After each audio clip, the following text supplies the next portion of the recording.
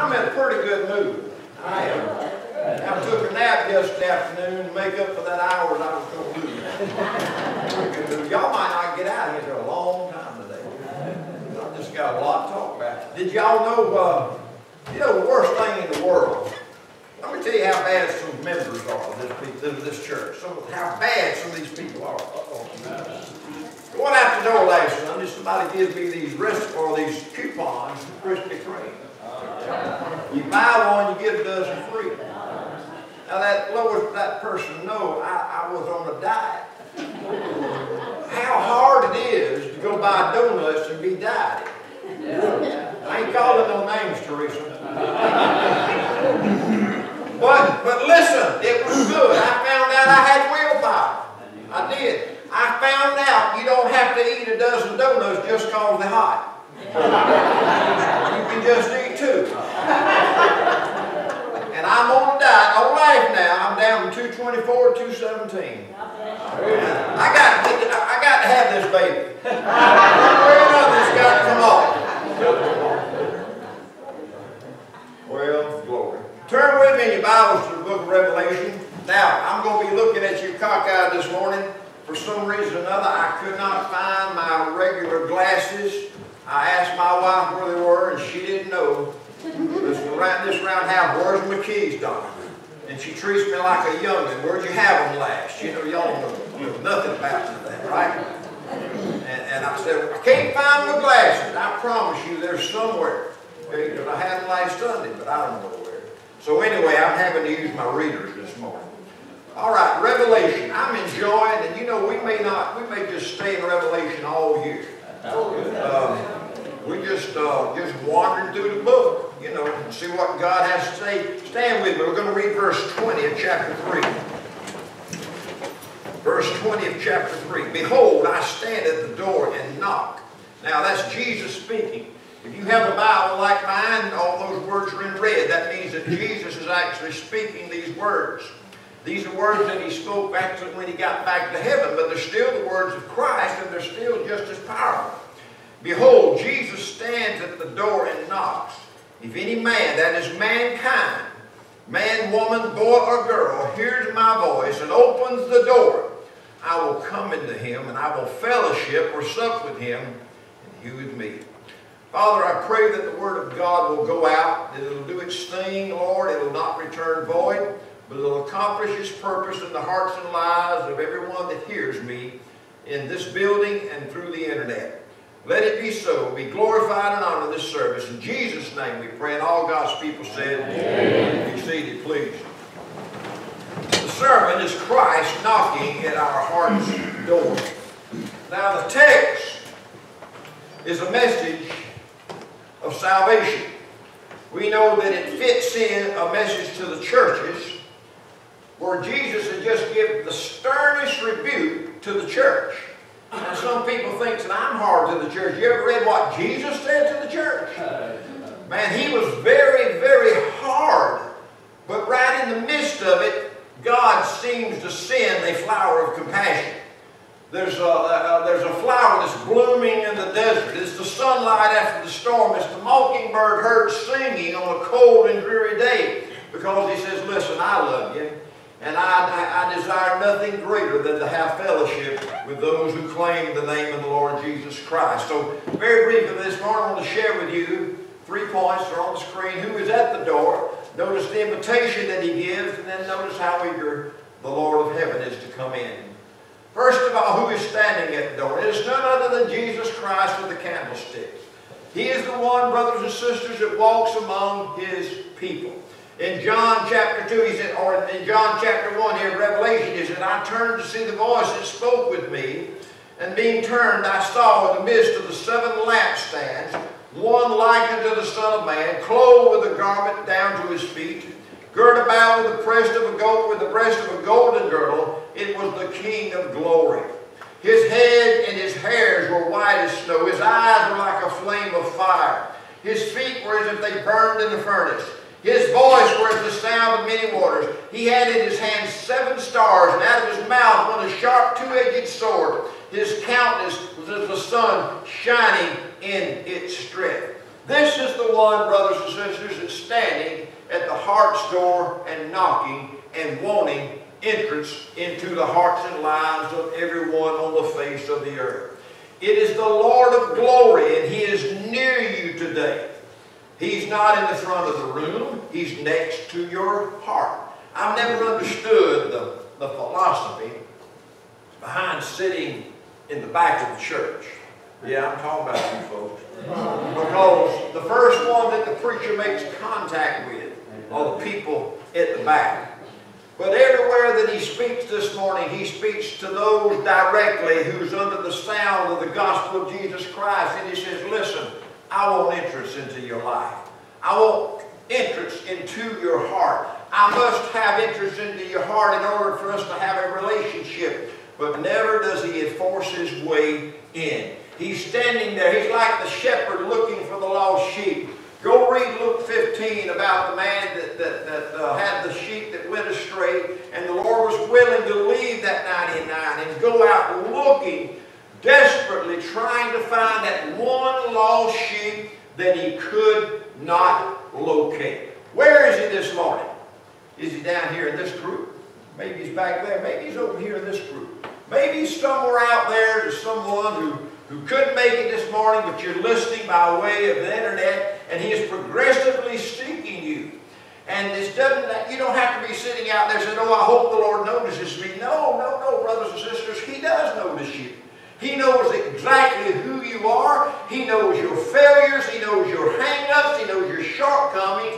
And He still loves you. And He still aggressively seeks you. And He still wants to be a part of your life. You see, the greatest thing that Jesus ever said, that the Son of Man has come to seek and to save that which was lost.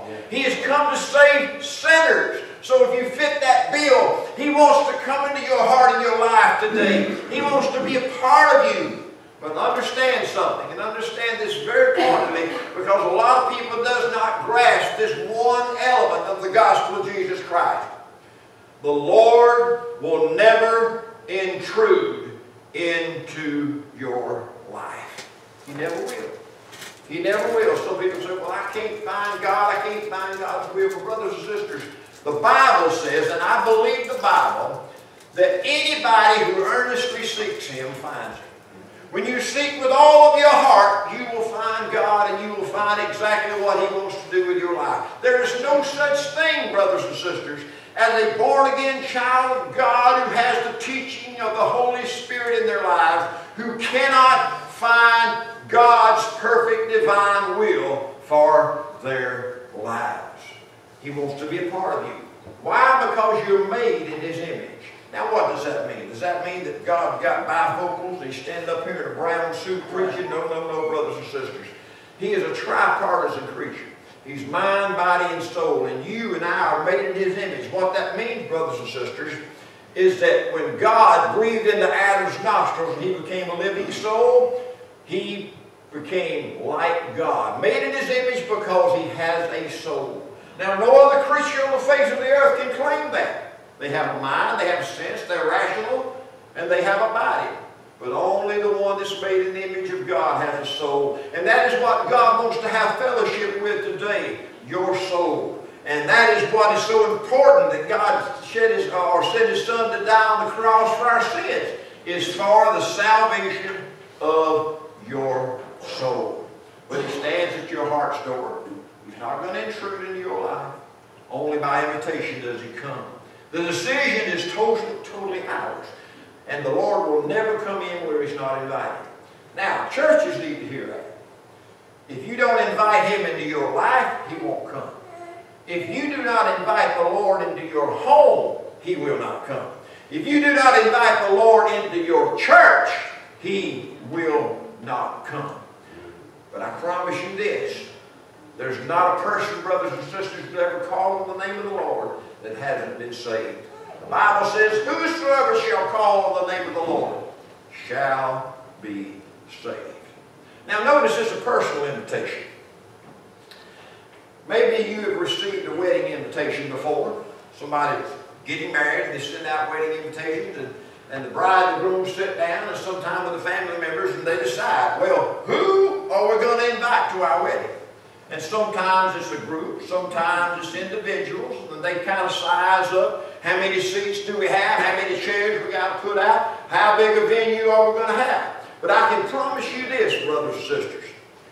Nobody will ever be invited to your wedding unless you invite them. And you have been invited personally to be a part of the Lord's wedding feast in heaven. He's come to you individually and says, listen, I want to be part of your life. I want you to be part of my wedding uh, uh, uh, uh, uh feast in heaven. And so he gives you a personal invitation. So you can say, Behold, I stand at Kimmett's door and knock. I stand at Eddie's door and knock. He wants you, brothers and sisters. If he didn't want to come into your life, he wouldn't be knocking. Amen. And I promise you, brothers and sisters, he does knock. That's called Holy Ghost conviction. When the Holy Spirit, the living God, knocks, and how does he knock? We'll talk about that in a minute. But also knows that it's universal. If anybody in the world, it crosses all genders, it's for everybody. If any Jew will open the door, any Gentile, any man, any woman, any child, any churchgoer, any bar hopper, any prostitute, any dancer, any preacher, any Sunday school teacher, any choir member, any convict, any inmate, any atheist, any agnostic, any man will open the door Christ will come into their lives. Amen. I don't know where we ever get the idea that people have to be in church to be saved. No, sir, brothers and sisters. Whosoever shall call them, say where?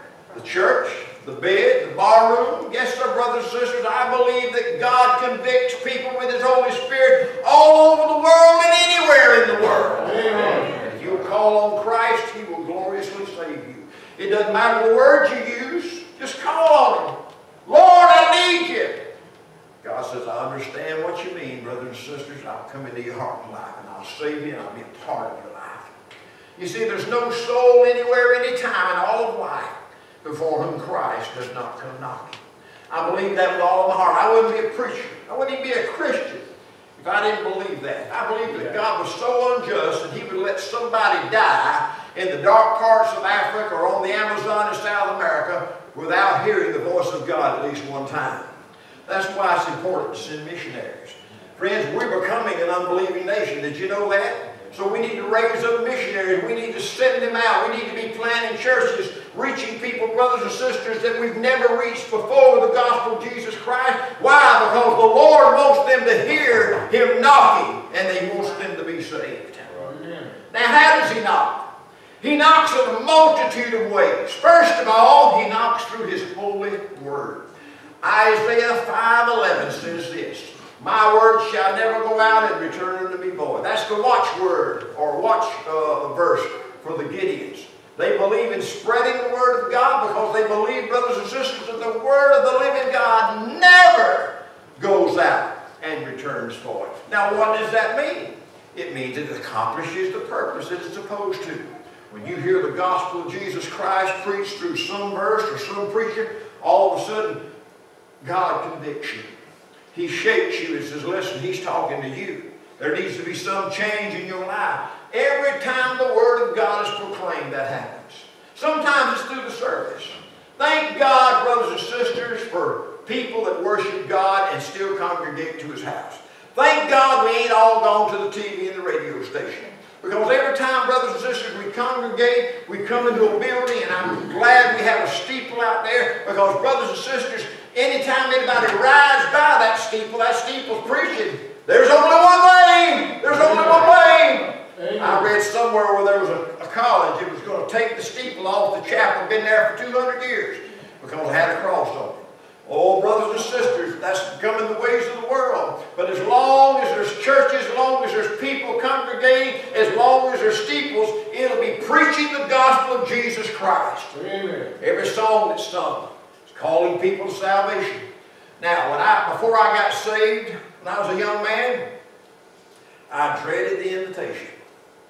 Oh man, I, I went to church because that's where the girls were, okay? Let's be honest. I don't think it's no different today, really, you know. Amen? Amen? Look at all these beautiful girls. Yeah, yeah, boy, you go to church where the girls were. And so I do whatever I had to do, you know, be where the girls were. Lord God, how I dreaded that invitation.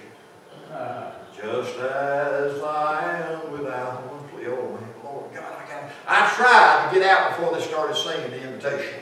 I had to go to the restroom or something because I dreaded that moment. Why? Because God uses His music to draw people to salvation. That's God knocking at the heart's door. Now, I told him no a lot of times, but one finally, one Sunday, finally, during the invitation, I said, I got to go. I didn't go that way, I came this way. And what a difference it made in my life. You might want to consider that this morning.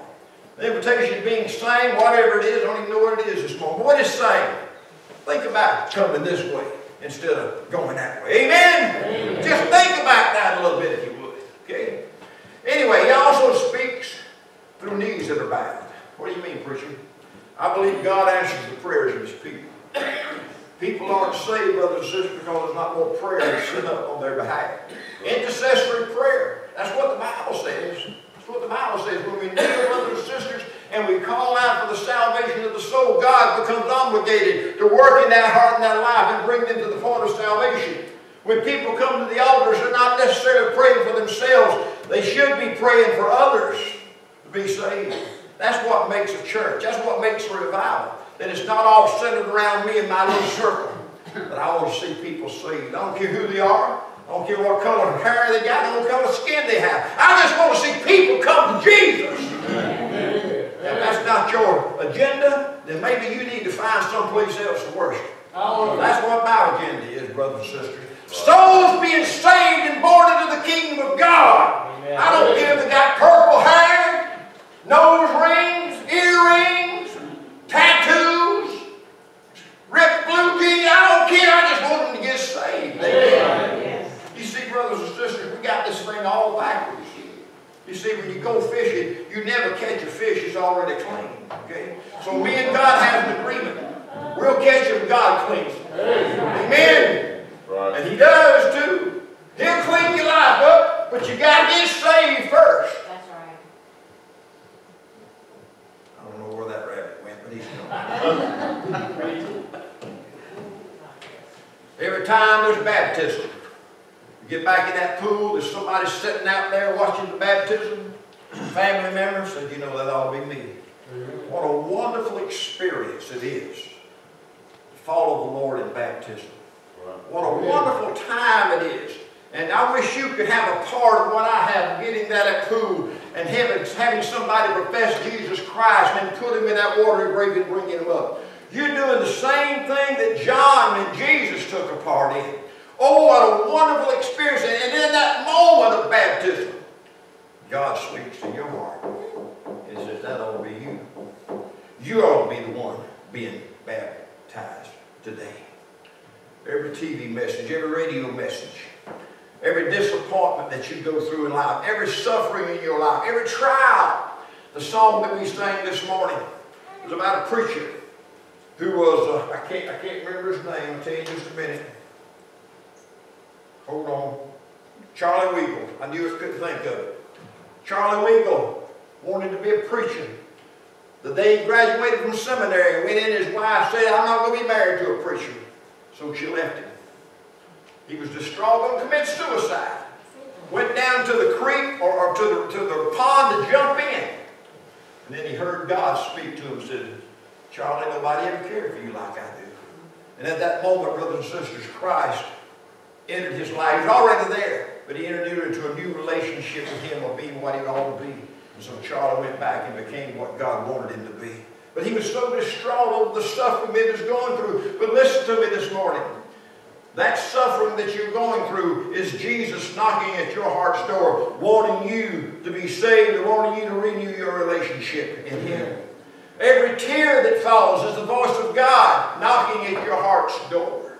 Every time a new home is created, every time a party gets up and says, I do, brothers and sisters, that is Christ saying, I want to be a part of every home that is here and there.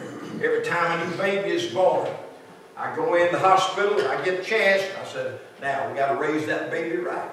You get out of here, that baby needs to be in the house of God. You need to bring him to church, not send him to church. Bring him to the house of God and let him hear these godly Sunday school teachers Let them hear the gospel of Jesus Christ taught and sang to them so that one day when they become to the age of accountability, they can receive Jesus too. God begins knocking at that heart's door at a very early age. And you know who he knocks through? Mama and daddy. Mama and daddy. That's your job to wake them friends to the knocking of Christ and the invitation that they need Jesus. Everything keeps falling, I just help you a little bit.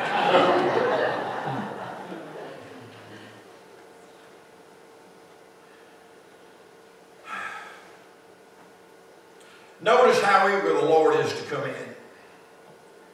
If anyone opens, I'll come in. Oh, brothers sisters, I know that you know the day that you were saved. I remember mine very well. When Christ came into my heart, I opened my heart's door and he came in. And brothers and sisters, ever since that day, that's something that happened to me that I've never gotten over. And every chance I get, I just love to praise God for His goodness. Do you like to do that? Yeah. Now, let me tell you something. I don't know where in the world it come from, but I, I want to dispute or dispel this idea that Baptists don't shout. Because I'm a Baptist, and I shout, and I think it's a good thing when we raise our hand and praise God because we feel something good. I think, I think it's a good thing when the preacher says something good, we say amen. Now, if you can't say amen, you can always say oh me. Okay? I think it's good when we think about Christ and His love for us and singing hallelujah.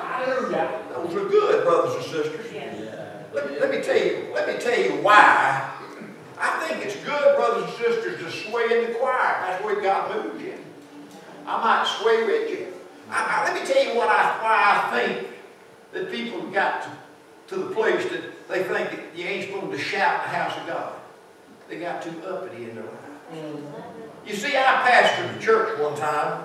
Actually, I pastored it twice. My first time and my last time. And it was a city church.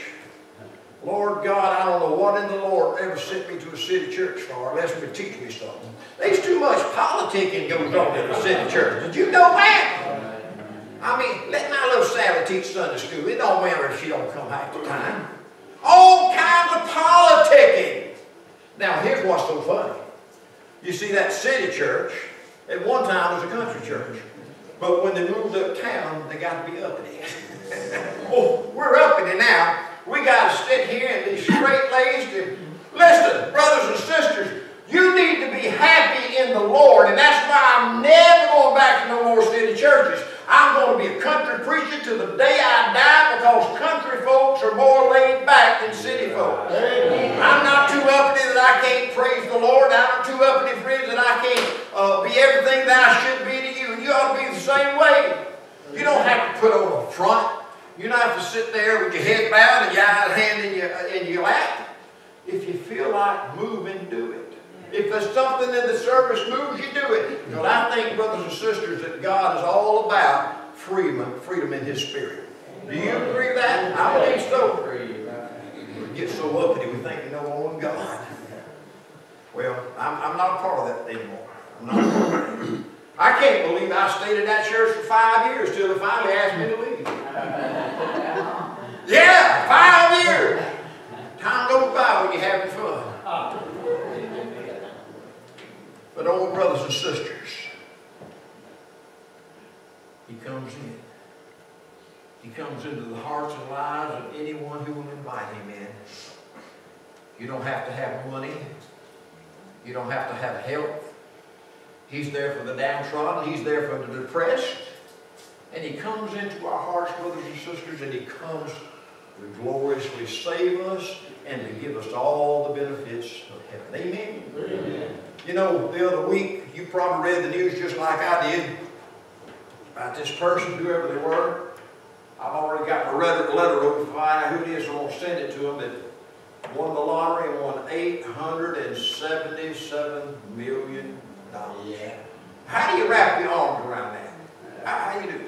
Oh man, that person said they got everything they need. Blah, blah, blah, blah, blah. Oh, let me tell you something, that ain't nothing, brothers and sisters.